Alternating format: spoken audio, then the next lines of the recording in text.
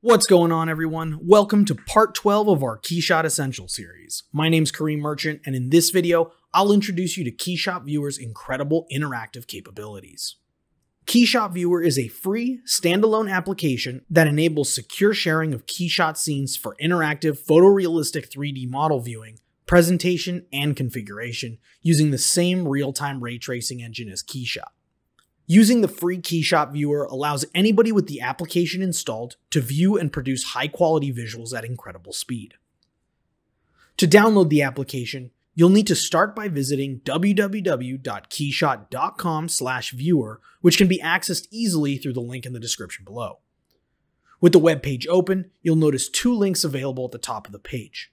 One jumps to the feature section where you can learn more about Keyshot Viewer's capabilities and benefits, and the second jumps to an input field which allows you to input your information and download Keyshot Viewer.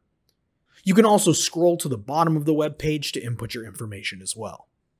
When you're ready, go ahead and fill out the available fields, select Submit, and open the download link sent via email. It should take no more than a minute or two, so go ahead and refresh your inbox if necessary.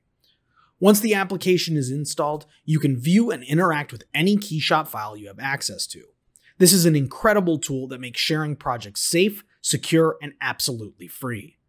It also provides an easy way to share projects with development partners who do not have access to a Keyshot license.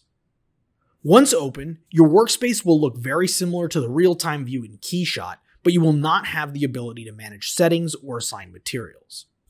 Along the right side of the window, there is a toolbar that has a series of buttons to control your keyshot scene. Starting from the top, we have the ability to toggle GPU mode on and off and automatically hide the window. Then we have a series of familiar buttons to select between tumble, pan, and dolly. These controls use the same icons that are found on the ribbon inside Keyshot. Below that is the camera reset icon. If you've adjusted your image and wish to return to the original view, simply click on this icon to reset the view.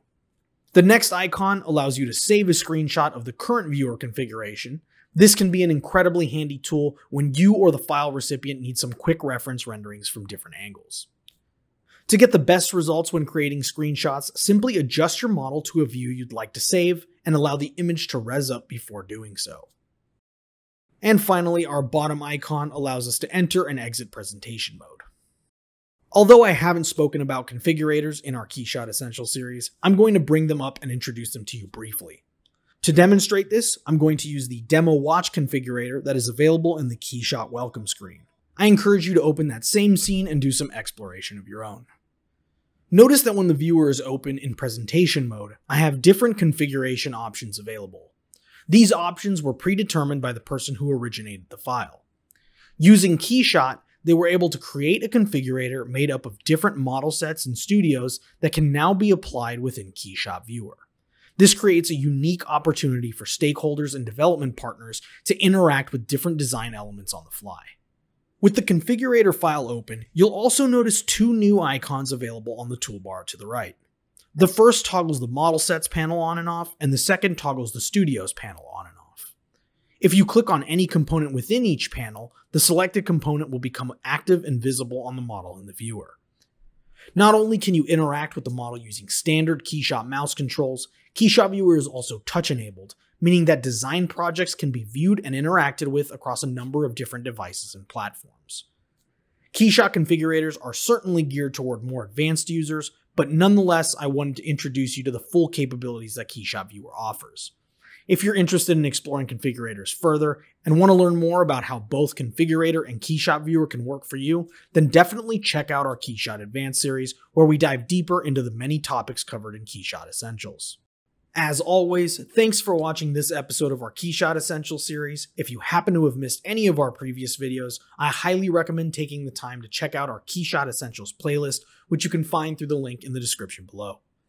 Don't forget to let us know your thoughts on this tutorial in the comment section below, and if you found this video useful, give it a like and share with your friends.